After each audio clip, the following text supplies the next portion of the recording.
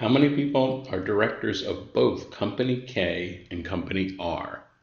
And so notice that if we want the directors that are directors of both companies, this would be the overlap in a Venn diagram, the overlap region. So statement number one tells us that there were 17 directors present at a joint meeting of companies K and company R. No directors were absent. So that means that all of this put together, the entire content of both circles, equals 17. Well, that by itself does not allow us to figure out how much overlap there is. So that statement by itself is insufficient.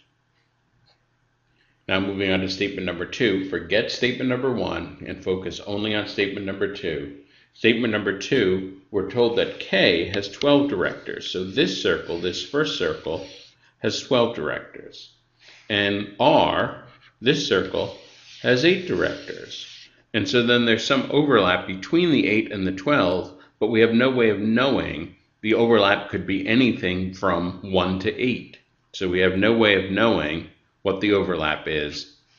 And so this statement by itself is insufficient.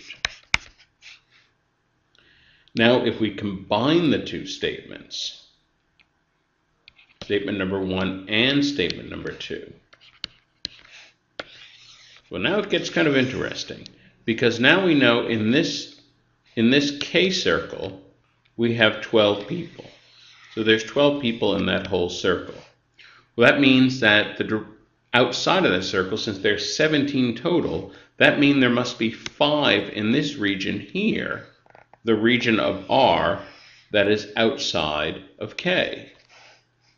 And so what that would mean is that since there are eight in R, there would be three here and just checking to make sure this makes sense, K has 12, so if there are three in the overlap region, there must be nine here. And if we add this up, 9 plus 3 plus 5, that does add up to 17. So this does check out.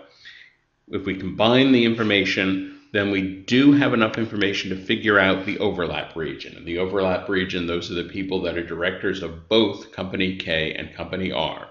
We have sufficient information to answer the question when the statements are combined. Answer choice C.